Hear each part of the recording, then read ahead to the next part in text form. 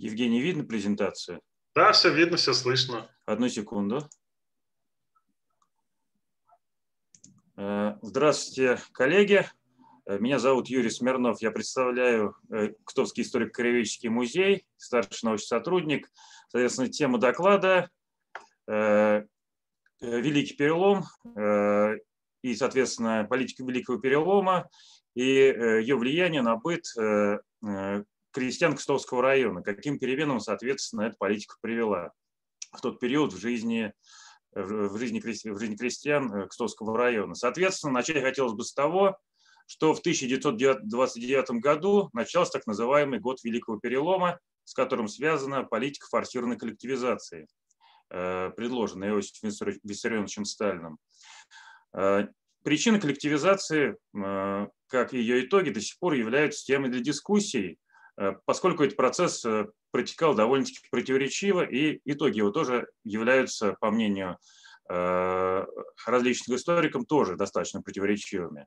Соответственно, хотелось бы прояснить, были ли, соответственно, какими были основания для проведения такой политики, и, соответственно, хотелось бы выявить понять и оценить причины, цели и итоги этого исторического явления на примере конкретно исторического материала. Вот сейчас я постараюсь на примере того, как этот процесс протекал в Кстовском районе, э, показать, э, насколько, соответственно, э, как бы сказать, обоснованной была проведение такой политики и как она протекала непосредственно в, в Кстовском районе, поскольку политика Великого Перелома как раз совпала со временем образования Кстовского района. Напомню, что Кстовский район образовывается в 1909, период 1909-1930 годов, 1930 годов, а, как раз завершает свое оформление. В это же время начинается политика Великого, Великого Перелома. Индустриализация, соответственно, одной из первейшей э, целью э, руководства района становится как раз создание колхозов. Соответственно, вот основные тезисы, э, которые как раз происходят из, из программной статьи Иосифа Виссарионовича Сталина год, год Великого Перелома, где он говорит о том, что нам удалось повернуть основные массы крестьянства скажем так, от старого пути на широкий путь коллективной обработки земли, который, соответственно, представляется по Иосифу Виссарионовичу наиболее выгодным. Соответственно, причины успеха коллективизации тоже выделяются в этой статье. Это, соответственно, и последовательное подведение крестьянских масс колхозам, то есть имеется в виду объективный путь, учет растущей нужды крестьянства в новой технике, соответственно, преимущество крупных зерновых хозяйств, коими были колхозы, ну и, соответственно, наличие льготного кредитования и создание основных фондов, без которых, конечно же, крупное, э, крупнотоварное сельское хозяйство существовать не могло. То есть вроде как на бумаге все гладко, но давайте посмотрим, что было на самом деле, ну, как это, по крайней мере, иллюстрирует протоколы э, заседаний Кстовского районного исполнительного комитета, который как раз этой политикой в Кстовском районе в то время и занимался. Э, соответственно, эти протоколы как раз иллюстрируют и процесс создания района, потому что с них как, как раз э, эти протоколы начинают издаваться с 1929 года, когда район только создавался, и они отчасти проливают, э, скажем так, свет на то, как протекали эти процессы, связанные с коллективизацией сельского хозяйства. Соответственно, вот какие обычно причины перехода коллективизации выделяются. Э, традиционно, это и ограниченность сельского хозяйства, и неспособность решить социальные проблемы деревни, которые э, возникли э, еще, скажем так, в послереформенное время в царской России, и необходимость создания материально-технической базы для создания крупнотоварного сельского хозяйства, удовлетворяющего спрос городского населения в хлебе. Ну и, соответственно, решение проблем механизации сельского хозяйства и строительства коммуникаций и доставки этих продуктов. Это, соответственно, э, основные причины коллективизации, но э, как это все выглядело на деле? На деле э, проходила в то время административно-территориальная реформа, особенно как раз в период 1929-30 годов. Цель этой реформы, ну, которая, скажем так, зарождалась еще в начале 20-х годов, 20 века заключалась в том, чтобы создать новые единицы административно-территориального деления, которые, по сути дела, образовывали бы вертикаль власти, э, удобную, удобную для проведения э, в жизни решений плановой экономики и создания э, таковой. Потому что без единой плановой экономики невозможно было проводить как индустриализацию, так и создание коллективных хозяйств. Прежняя система деления, которая соответствовала губерниям, соответственно, уездам и властям, она не соответствовала Э, этой задачи, постольку, поскольку там существовали в том числе органы самоуправления, которые, в общем-то, в рамках такой директивной э, экономики не были удобны. А, соответственно, проблема другая, то, что, например, в том же самом Кстовском районе э, несколько территорий, которые, например, имели единообразное хозяйство, например, выращивание овощей или, молок, или, скажем так, молочное животноводство, они были разъединены по разным, предположим, уездам. И, соответственно, из-за этого возникали чисто административно-хозяйственные вопросы. Как взаимодействовать двум властям, двум, соответственно, уездам. И, соответственно, исходя из этого, возникали проблемы управления. Соответственно, задача э, э, административно-территориальной реформы в том и заключалась, чтобы объединить эти территории в один хозяйственный комплекс с единым управлением, который бы, соответственно, решал бы задачу хозяйственную по превращению этой территории в источник Э, товаров, товаров сельского хозяйства. Э, соответственно, выращивание сбор которых бы, э, соответственно, не отягощались никакими административными препонами. Соответственно, для этого создавалась низовая форма организации территории, это район, ну, условно низовая, потому что в итоге низовой формой, конечно, был сельсовет, но район это низовая форма э, как раз организации территории в рамках единого хозяйства внутри одной отдельно взятой области. Соответственно, и такой район, как, например, Кстовский, образованный в период 29-30-х 30 э, годов, должен был выполнять определенную функцию.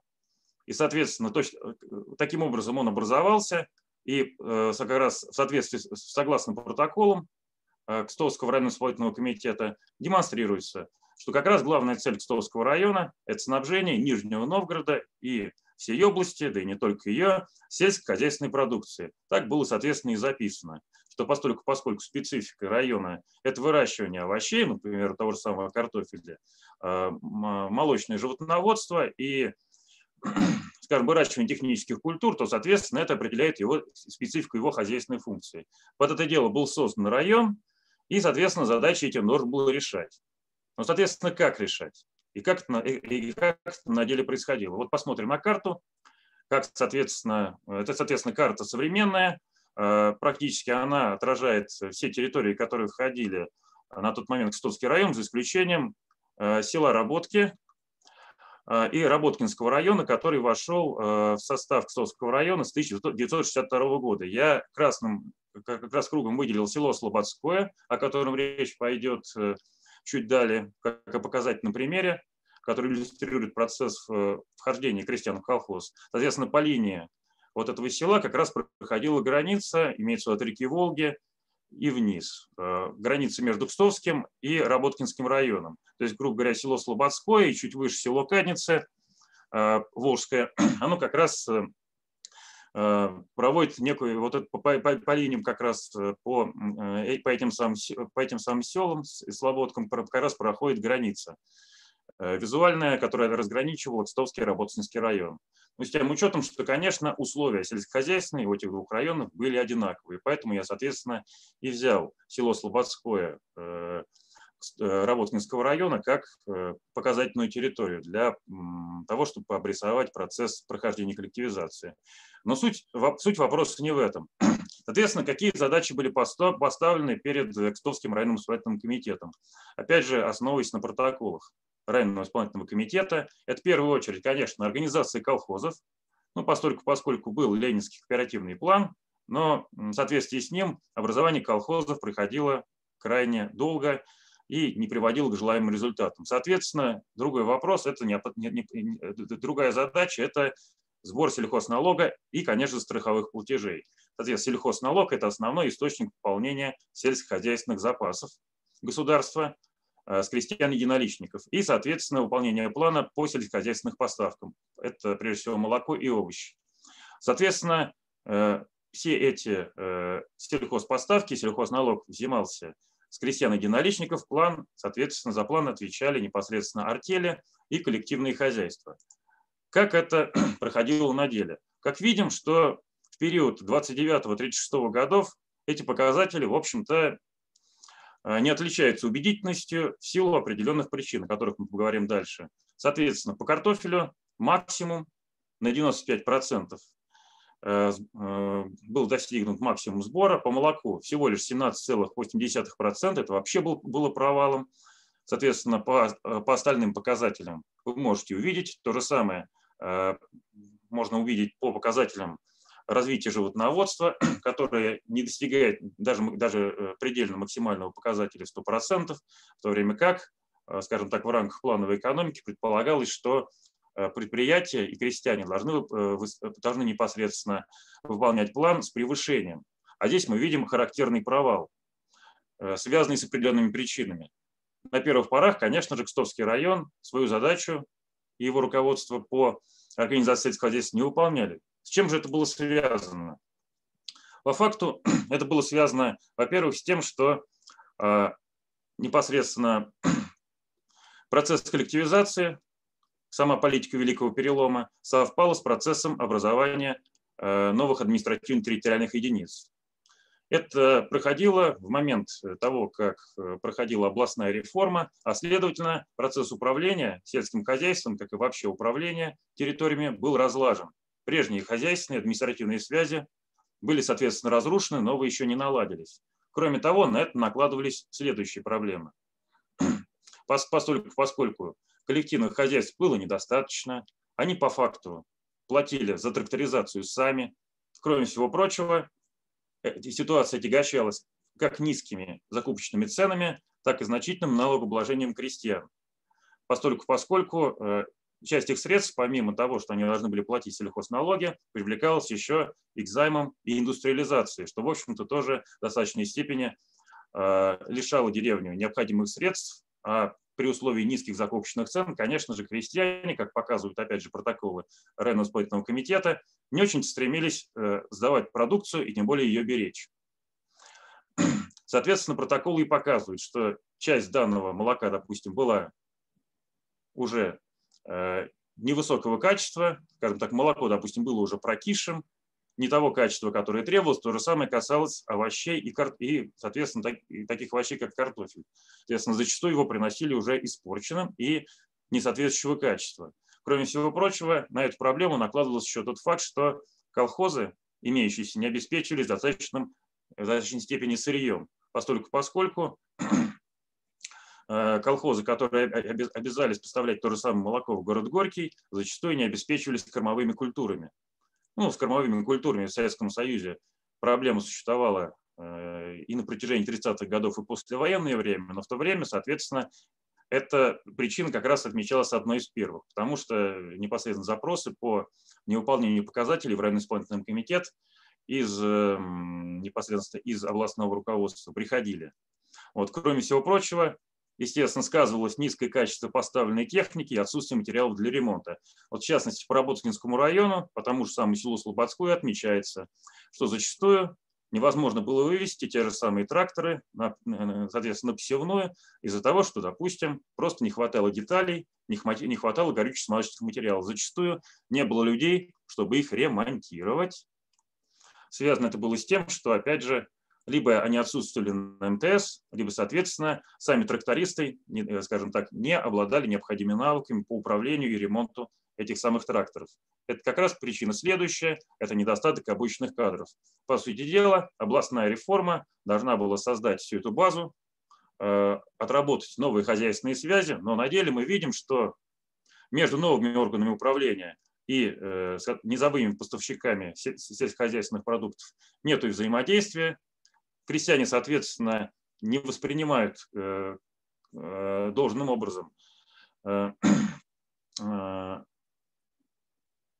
соответственно, политику коллективизации, то есть не понимают, что от них хотят, не понимают, какого качества, когда, в какие сроки они свои продукты должны поставлять, И это зачастую приводило к тому, что, скажем так, даже э, такое понятие, как стандарты качества на приемочных пунктах. Один из таких приемочных пунктов был, соответственно, в Подновье Кстовского района. Но туда просто приносили уже продукты, которые были основательно подпорчены. Только, только соответственно, в конце 29 года озаботились тем, чтобы эти э, как раз пункты приема оснастить э, необходимыми приборами для контроля качества продукции ну, в частности, молока. По молоку это наиболее всего сказывалось. Ну и, соответственно, то же самое касается и кадров обученных, которые не были просто обучены работать на новой технике, соответственно, новую технику ломали, и все это приводило к тому, что по факту мы видим кризисы, э, их, соответственно, кризисы поставки продукции и невыполнение плановых показателей. То есть они были как объективными, так и субъективными. Соответственно, по сути, Э, с этим связана и следующая картина статистическая, которую мы видим. Вот на 1930-31 года мы видим всего два совхоза и четыре колхоза э, с площадью угодий, ну вот, соответственно, площадь угодий в отношении э, к той площади, которую мы имеем в настоящее время. Я имею в виду именно сельскохозяйственных угодий. То есть даже по сравнению с теперешней площадью сельскохозяйственных угодий всего лишь навсего, дай бог, восьмая часть. Это имеется в виду всего э, шестью коллективными хозяйствами. Вот. Соответственно, на район приходилось всего шесть тракторов. Ну, и, соответственно, с учетом того, что эти шесть тракторов постоянно портились, а большинство, конечно, урожая собиралось именно вручную, понятное дело, что это не приводило э, как раз к успеху в политике коллективизации. Соответственно, ситуация изменилась только ближе к 1936 году, когда уже, э, скажем так, механизм Э, управления района был более-менее отлажен, образовались отделы и департаменты, соответственно, соответственно органы управления сельсоветами уже стали состоять не из двух, хотя бы из пяти человек. Соответственно, это привело к тому же, что в состав коллективных хозяйств вошло уже примерно более 90% индивидуальных хозяйств. Ну и, соответственно, тракторизация точно так же усилилась. Соответственно, это тоже было связано с тем, что уже к 33, период 33-36 года, годов э, Кстовский район уже из себя э, представлял э, ну, уже более-менее территорию, на которой сложились органы управления, имею в виду прежде всего районный исполнительный комитет, где уже, соответственно, более-менее постоянно работал кадровый состав. Соответственно, Другим моментом, другой момент, на, который хотелось бы обратить внимание, это конкретные причины, э, по которым крестьяне входили в колхозы. Вот потому что, скажем так, э, рассматривать процесс коллективизации только сверху тоже это явление довольно-таки необъективное. И вот как раз данный, данную проблему хотелось бы рассмотреть на примере соседнего Работинского района, который, как раз территория которого впоследствии вошла в Кстовский. Э, непосредственно условия ведения сельского хозяйства являются схожими, и вот как раз первой причиной, для, согласно которой э, крестьяне, соответственно, на основании которой крестьяне входили в колхоз, это недостаток работников для обработки земли. Вот конкретно здесь приведены э, э, непосредственно цитаты из заявлений о приеме в колхоз имени Сталина села Слободское. Это, соответственно, и гражданка Любимцева, и Гусева, которые непосредственно просят принять у них землю, во-первых, э, вследствие того, что обрабатывать они ее просто не в силе, но это связано, опять же, э, с тем, что, э, скорее всего, глава семьи ушел на промысловый город или в пригородную территорию. Соответственно, другой пример иллюстрирует как раз большую семью, Э, в которой заявление о приеме в колхоз пишет женщина, а, соответственно, муж, который занимается точно так же отхожим промыслом, ремеслом или тоже ушел на работу. То есть тоже характерная картина для, для того времени, что вроде как большая семья, но с другой стороны э, непосредственно глава семейства уже не ведет сельское хозяйство, а находится, как это было уже популярно в начале 20 века, занимается он отхож, э, отхожим промыслом.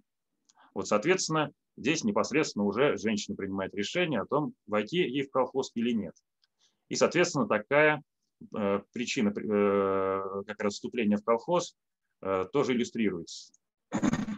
Соответственно, другая причина – это малоземелье, низкий уровень сельскохозяйственных знаний, и часто неурожаи с этим связаны. Вот, к примеру, из заявления крестьянина Сухарева, того же села Слободского, она как раз иллюстрирует этот тезис.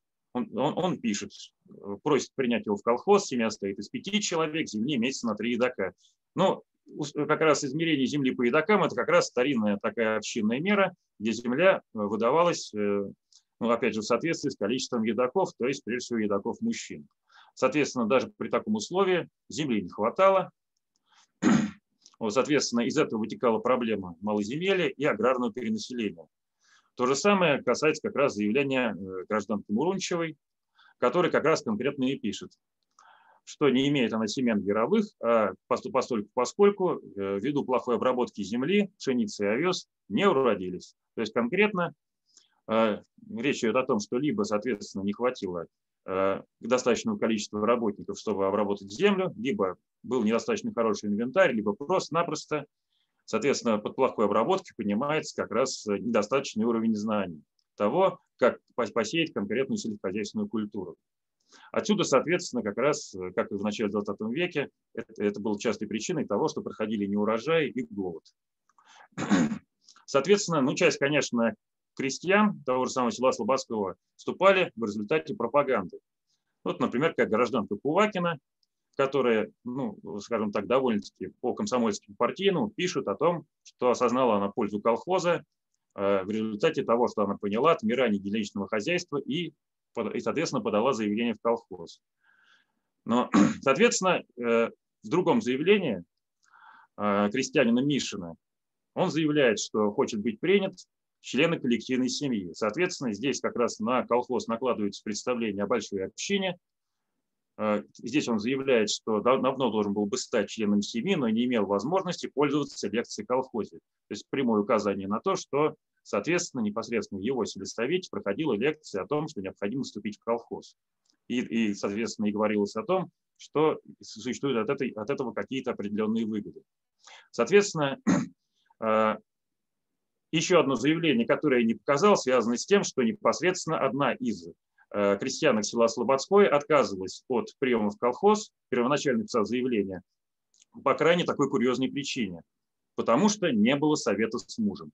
Это, э, буквально говоря, одно из э, большинства таких заявлений, поскольку, поскольку большинство заявлений, как мы можем увидеть, писались в том числе и женщинами, но так или иначе, часть крестьян все равно еще сохраняла патриархальные представления, и вот такой совет с мужем нужен был, э, соответственно, женщине, которая оставалась на хозяйстве, чтобы подать заявление на наступление в колхоз.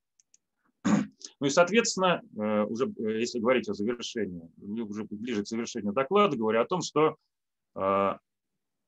соответственно, некоторые крестьяне просто сдавали землю в колхоз, не желая вступать в как раз в коллективное хозяйство и не желая, соответственно, связывать себя обязательствами которые, которые, соответственно, налагал на себя вступление в колхоз, они уходили на производство, поскольку, поскольку ну, э, процесс индустриализации, который проходил в том числе и э, в Горьковской области, представлял для этого э, большие возможности. Соответственно, вот как раз заявление крестьянина Шульпина, который говорит о том, что он сдает землю на три едока в колхоз имени Сталина, соответственно, сдает вместе с яровыми семенами, и просит исключить его из семью, поскольку его семья переходит, соответственно, вместе с ним э, в Затон, где, соответственно, он существует на производстве водного транспорта. Конкретный пример, который показывает, что крестьяне э, не согласны а, с тем, что они должны были вступать в колхоз, работать, соответственно, за трудодни,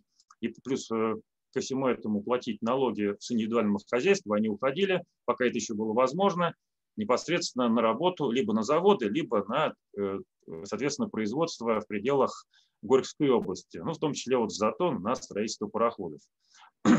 Соответственно, это, я, я к тому говорю, что э, для части крестьян обработка земли, даже если, э, скажем так, надел был достаточно большой, просто-напросто становилась невыгодной. Поэтому предпочитали крестьяне, соответственно, уходить э, непосредственно в город на производство и таким образом фактически создавать городское население, что было еще одной из целей коллективизации то есть вытолкнуть излишнее население из деревни. Соответственно, если подытожить, э, в рамках Пстовского района, если мы анализируем вот данный конкретный материал, причинами вступления в колхоз были как малоземелье крестьян, так и их бедность, которая была связана с тем, что они не могли себе позволить фактически купить себе, позволить себе механизацию своего хозяйства и тем самым, и тем самым повысить, повысить урожайность своего, своего надела. В связи с тем, что а, уровень агрокультуры и э, оборудование, которое использовалось при переработке, был достаточно низким, опять же, я имею в виду ручной труд, все это приводило, опять же, зачастую к неурожаям, а при отсутствии э, и недостатке рабочей силы это приводило к тому, что, соответственно, иногда просто-напросто свой надел крестьяне просто не могли засеять. Ну, к примеру, когда на хозяйстве оставалась женщина с детьми. Соответственно, э, следствием э, малоземелья крестьян э, было, конечно, аграрное перенаселение, которое, которое могло разрешиться через механизацию сельского хозяйства, уход части крестьян на производство, что, как мы видим, по заявлениям происходило, и введение новых методов обработки земли в коллективных хозяйствах. Это, кстати говоря, в Товском районе решалось путем того, что начали Э, в 29-30-х годах э, посылать в деревни агрономов и вводится должность э, главного агронома по Кстовскому району. Это как раз связано было с тем, что базовых таких вещей, как, например, укрепление, укрепление склонов путем лесопосадок, защиты и способов защиты, скажем так, почвы от эрозии крестьяне не знали. Отсюда, скажем так, могло происходить разрушение почв и нарушение цикла урожайности. Соответственно, это я подразумевал под введением новых методов обработки земли. Ну и, соответственно, в связи с этим происходит трансформация крестьянской семьи. Как правило, если мы имеем эту традиционную крестьянскую семью, где 2-3 поколения вместе живут, ну, в частности, это, ну, это, соответственно, жена, муж, это дети, это, соответственно, дед, ну, соответственно, отец мужа, э, который является формальной главой семьи, то в данном случае, ввиду э, уже разрушительных процессов, которые э, с образованием, которые были связаны с развитием капитализма уже в Российской империи, потихоньку уже появляется семья, типичная, э, которая состоит из двух поколений, где главную роль играют старшие сыновья и жена, которая зачастую остается на наделе, в то время как мужчина работает на производстве либо на отхожем промысле. Соответственно, впоследствии коллективизация, которая привела к тому, что, а, как бы сказать, в колхоз шли и мужчины, и женщины, и там они были уравнены в производстве, и это как раз процесс усилило. Ну и, соответственно, чтобы, чтобы подвести итог, я хочу сказать так, что, несомненно, образование Кстовского района было связано с тем, что необходимо было образовать достаточно крупный район с крепкой бюджетной базой, который мог бы заниматься сельским хозяйством, и его поставкой непосредственно в, в областной центр. Вот. Но, соответственно, процесс этой коллективизации протекал довольно-таки противоречиво, что связано было с тем, что процесс коллективизации и образования э, как района, так и области, они, они, они по времени совпадали. Все это проводило, э, к сожалению, э, к тому, что, скажем так, процесс Э, скажем так, что, что цели э, коллективизации были достигнуты далеко не сразу. Спасибо, у меня все.